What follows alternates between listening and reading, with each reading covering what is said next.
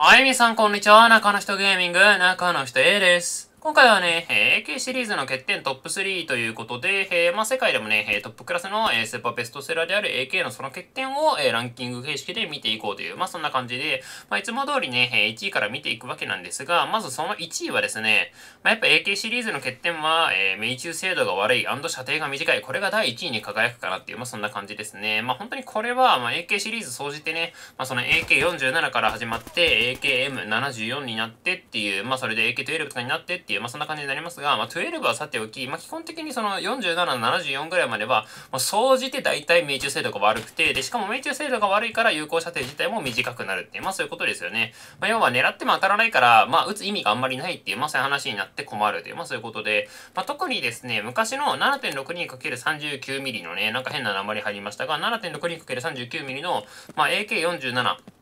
あと AKM ですね。ここまでの AK は、まあ AK74 みたいな、まあ 5.45mm 系列の、えー、まあ AK よりも命中精度が悪くて、まあじゃあどれぐらい悪いのっていう、まあそういうふうな、そういうふうなね、まあ話にもなるんですが、まあそれはですね、まあテストの仕方、まあ要は人が立って撃つのか、それとも完全に肯定して機械的に撃つのかとか、まああとは弾薬との相性、まあその銃と弾薬がどの、どういう組み合わせが一番、なんていうのかな、精度が出るのかとか、まあ本当にそういうテストの仕方っていろいろで、まあ一概には言えないんですが、まあそうは言ってもざっくり見ると、まあ距離100ヤード、えー、まあ大体100ヤードってあれですかね、91.4メートルかな。まあそれでの集団で、えー、91.4メートルの集団で、AK47 の場合、まあこれ結構幅が広いんですが、まあ6.35から、え、20.32センチに、まあ3回というか、まあ球がバラバラというかね、ばらつきますよということで、まあ悪いっちゃ悪いんですね。まあ91.4メートルっつったら、まあ普通に人に撃って当たりそうな距離というか、まあ銃撃戦になりそうな距離ですが、まあ、20.3にね、散らばれば、運が良ければ、運が良ければね、この胴体に打ち込まれても避けられるみたいなね、まあワンチャン外れるみたいな、まあそれぐらいなので、まあ結構悪いって、まあそういう話になりますし、まあ、AK の74で言っても5.08から7.62センチぐらいって、まあそんな感じで、まああんま良くないですね。でもあんま良くないって言われても、比較対象がないとわけわかんないでしょって、まあそういう話になるので、まあわかりやすく、まあざっくりね、えー、まあ、まあ M16 を紹介しておくと、まあ M16 で2.54から10.16センチなんですね。まあ10.16ってなっちゃうと結構悪いですが、2.54のこのミニマム、えー、最小のね、精度で取ると結構いいので、まあ、なんていうんですかね。まあ、そういう風に考えてみても、まあ、2.54だとね、えー AK74 の半分とか、まあ、それぐらいになっちゃうので、まあ、本当に、まあまあ、精度がいいって、まあ、そういう話になって、じゃあ、それに比べて AK って何なのって、まあ、そういう話になって、うーんってなるっていう、まあ、そういうことですね。で、しかもですね、この命中精度が良くないっていう話は、まあ、なんかよくわかんないんだけどさ、まあ、命中精度が悪いんだよね、あはは、みたいな、まあ、そういうふんわりした話でもなくて、なんでね、まあ、AK の命中精度が、えーあまり出ないのか、命中精度が良くないのかっていうことは、もうなんかしっかり理由がいろいろありまして、もう分かってて、そのことは。まず、えー重心自体がハンドガードとか、まあ、いろんなパーツと接触してるんですね。まあ、これは、なんていうんですかね、なんで接触してたらいけないのって話になりますが、まあ、銃の命中精度出したかったら、まあ、銃の重心をレシーバーのこの付け根の方とかでがっつり固定して、で、それをフリーフロートさせるっていうのがいいっていうふうに言われてるんですね。まあ、フリーフロートっていうのは、要は重心に何も接触しないってことですね。まあ、フリーに浮いてるって、まあ、いうことですが、まあ、なんていうんですかね。まあ、例えばハンドガードのパーツが接触してたりとか、まあ、重剣が取り付けられてたりとか、まあ、そういう風にすると、重心に余計な、こう、なんていうんですかね、まあ、重みとか負荷がかかって、重心のその射撃時の振動が不均一になったりとか、重心自体がちょっと曲がったりとかして、まあ、精度の低下につながるので、まあ、フリーフロートの方がいい。だが、しかし AK は全然フリーフロートじゃないって、まあ、そういう話になりますし、まあ、しかもですね、AK の重心自体も結構細いですね。結構細くて、まあ、なんか、こう、なんていうのかな、射撃用の肉厚なブルバレルみたいな、そういうのとは、まあ、程遠いので、まあ、なんていうんですかね、まあ、細い重心はよく振動するので、振動すれば振動するほど、こう、なんていうのかな、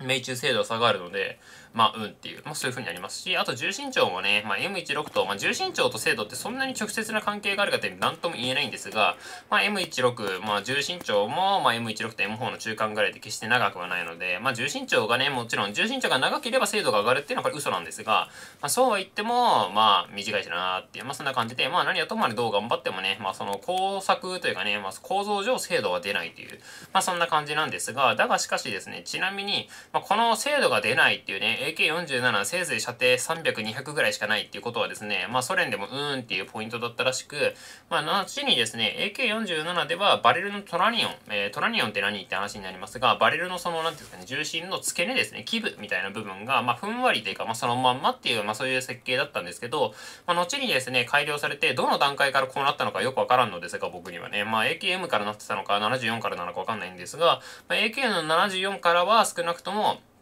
まあ、しっかりしたトラニオンがついてます。要はバレルの規模をね、支えるためのブロックみたいなパーツが追加されてて、まあ、そこにバレルがガスッとこう組み込まれているというか、まあ、なんていうの、ハマってるみたいな、まあそういう感じの構造になってて、しっかりしましたよって、まあそんな風になってます。で、次、えー、まあなんか最初の欠点だけで5分も喋っちゃいましたが、えー、次はですね、ホールドオープンしないっていう欠点ですね。えー、まあ2つ目の欠点になりますが、まあこれもね、なかなかどうかなっていうね、まあポイントだと思うんですが、まあそんなに大きな欠点ではないかもしれないですが、まあうーんって部分で、まずホールドオープンって何って話なんですが、まあ例えば、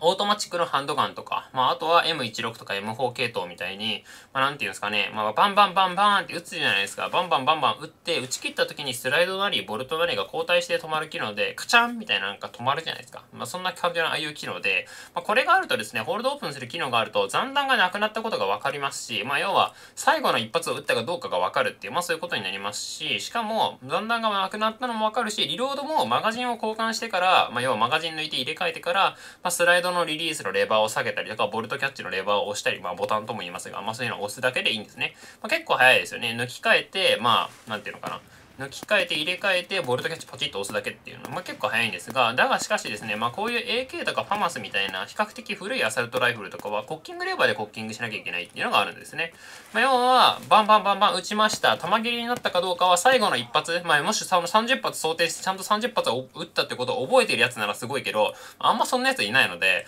あの適当に撃って、で、そして最後トリガーを引いても弾が出ないから弾切りに気づいて、マガジンを交換して、で、そしてコッキングレバーを引いて離さなきゃいけないっていう、まあそういうことで結構めんどくさいんですよ。で、それで、まあ、うんってなりますし、あとこういうので、まあ、類似するというかね、まあ、近い銃だ、近い銃っていうか、まあ、近いシステムだと MP5 とか、まあ、AUG みたいに引っ掛けてリリースするやつもあるじゃないですか。まあ、コッキングレバーを、まあ、引っ掛けて、あの、まあ、リリースして、まあ、HK スラップとも言いますが、リリースして、まあ、まあ、なんていうのかな、コッキングするっていう、まあ、そういうのも若干時代遅れ感あるなと思うんですが、まあ、うん、まあこういうのはね、まあなんていうんですかね、うん、やっぱり AK みたいにね、打ち切って、まあなんていうのかな、コッキングしなきゃいけないっていうのは、ちょっと時代遅れ感もあるよねって、まあそういうことなんですよね。まあなんていうのかな、せめて、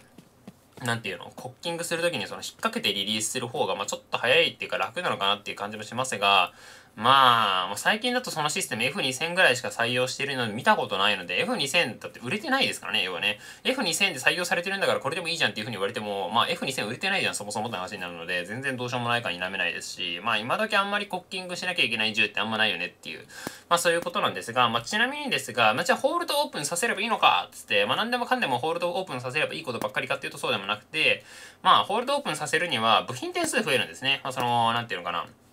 打ち切った時に、まあ、マガジンのフォロワーで、まあ、パーツを上げて、まあ、なんていうんですかね、あの、ボルトを後ろで止めるので、まあ、その、なんていうのかな、仲介するパーツみたいなのが必要なので、まあ、部品点数も増えますし、あと、ホールドオープンすると、開口部分、要するに、まあ、ホールドオープン、オープンしてるので、まあ、開口部分、要するに口が開いてる部分からゴミとか入りそうじゃんって、まあ、そういう話もあるんですけど、まあ、そうは言っても、まあ、なんか、まあ、最近の傾向というか、現代の傾向から言えば、まあ、M16 系統を筆頭に、まあ、HK416 でもね、スカーでもね、まあ、なんなら、まあ、新しいね、20式もね、まあ、ホールドオープンするので、まあ、なんていうんですかね。まあ、やっぱり打ち切ってホールドオープンする機能っていうのはあった方がいい説有力っていう、まあ、そんな感じですね。まあ、AK の場合、まあ、無理やりホールドオープンはできるんですよ。まあ、なんていうのかな。あの、セレクターレバー削って、まあ、なんて切り欠きみたいに作って、ホールドオープンさせればホールドオープンするんですけど、まあ、そうそういうことじゃなくて、打ち切った後に自動的にホールドオープンするっていう機能はないので、まあ、てか、つけようもないので改造しても、まあ、うんっていう、まあ、そんな感じですね。まあ、つけられるんですかね。スーパー改造すれば。まあ、わかんないですけどね。そんな AK 見たことないですね。まあ、そんな感じになってます。で、まあ、そういうちょっとこう、リロード絡みでホールドオープンしないっていう欠点もあるんですが、まあ、そして最後の3位はですね、操作性が悪いっていう、まあそういう話で、まあ、操作性が悪いっていうのは、これはなんとなく操作性が悪くて使いにくいみたいな、まあそういう話じゃなくて、あの、もうちょっとね、なんていうのかな、明確な理由があります。えまず、例えば、コッキングレバーとかセレクターの絡みですね。まあ、そういう、なんていうんですかね、まあ、コッキングレバー右側でガチャガチャするやつで、まあ、セレクターが、まあ、その後ろについてるね、まあ、板の、まあ、板バネのパーツなんですが、まあ、こういうのはですね、あの、まあ、かんこの構造の関係上、まあ、どう頑張ってもアンビにできないんですね。まあ、M16 とか、まああいうのはアンビにできますが、まあセレクターレバーとかね、アンビにできますが、この長いタイプのセレクターは、まあなんていうんですかね、アンビにできないし、あの、映せるっていうか、左側にもできるんですよ。レバー式にできるんですが、操作しにくくなるので、まあなんていうのかな、操作性も変わるしね、まあ左右対称に綺麗にすることってできないって、まあそういう話ですし、まあ確かに、まあ、このセレクターになっているのには理由があって、凍結に強いからっていうね、凍結してもなんか長いレバーだから無理やり動かせば動くっていう、まあそういうことなんですが、まあ、そうは言ってもね、え、現代の銃、まあ、右手の親指でね、サクサク操作できる銃が多い中、まあ、いちいちでかくて硬いというかね、まあ、板バネになってるセレクターのレバーをガチャガチャするっていうのは大変ですし、まあ、しかも、あの、マガジンもね、え、前方向に抜くんですね。前方向に抜くって言ってもよくわかんないっていう風になる人も多いと思うんですが、AK のマガジンって、後ろの、その、なんていうんですかね、まあ、あの、マガジンのキャッチのレバーみたいなので止めてあって、前が爪になってるんですよ。で、爪が引っかかってて、後ろで囲って、こう、なんか引っかかって止まってるみたいな、まあ、そんな感じで刺さってるわけじゃないんですね。引っかかってるんですね。それを要はね。まあ、日本語的に言えば。だから引っかかってるので、引っ掛けてるのを抜いてやるというか、抜き取ってやらなきゃいけないんですね。抜き取ってやるので、まあ、前に抜かなきゃいけないんですよ、結果的に。で、AK のマガジンって、まあもちろんバナナマガジンで湾曲してるじゃないですか。前方向に抜くので、フォアグリップが長かったりとか、マガジンに近いとぶつかったりとか、あの、そもそも抜けなかったりとか、まあそういう、まあリロードできないというか、まあそもそも刺さりもしないからリロードできないってことにならないんですが、まあそういうなんか不便さが出てくるので、まあちなみにこれよく見るとですね、あの、使用痕跡が多い AK は、なんていうのかな、ハンドガードの木が削れてます。え特に AK47 系列の、なんていうんですかね、あの、木のハンドガードとか、マガジンをガッて、まあ、30連とかを前に抜くと、まあ、急いで抜くと特に高確率で木のハンドガードがガーンってぶつかるので、木のハンドガードが削れて傷になってるっていう、まあ、よくあることなんですが、まあ、そういう風になっちゃうんですよ。で、はん、グリップがついてたらよりそうなるじゃないですか。グリップが目の前にあるんだから、ぶつかるに決まってるって、まあ、そういうことなんで、まあ、そこら辺考えるとね、まあちょっとじゃあ自重で落下するね、スタナグの普通の M16 とかのマガジンの方がいいかなっていう風になるっていうね。まあそういう部分もあるので、まあちょっとね、まあ AK シリーズ、まあクラシックでね、まあなんつうんですかね、かっこいいっちゃかっこいいですし、まあ AK12 とかまなそこまでいっちゃえば、まあいろいろ違うのかなとは思うんですが、まあそうは言ってもね、まあ AK47 とか74系列は結構改造してもね、まあ、現代の銃に比べると、まあ、ちょっとそういう欠点があるってことは否めないかなっていうね。まあ、どっちが強いかって言われれば、どっちが強いというか、まあ、どっちがエフェクティブな武器なのかって言われればよくわからないというか、まあ、一長一短なのかもしれませんが、まあ、そうは言ってもね、まあ、ちょっとね、っていうね、まあ、そんな部分もあるのかなという、まあ、そこは否めないってやつですね。まあ、そんな風に思います。はい。というわけでね、まあ、今回長々とね、えー、AK の欠点をお話しさせていただきました。えー、この動画ね、ふーんっていう風に思っていただけたら、えー、ぜひ高評価とチャンネル登録よろしくお願いします。では次の動画でお会いしましょう。以上、中の人ゲーミング、中の人 A でした。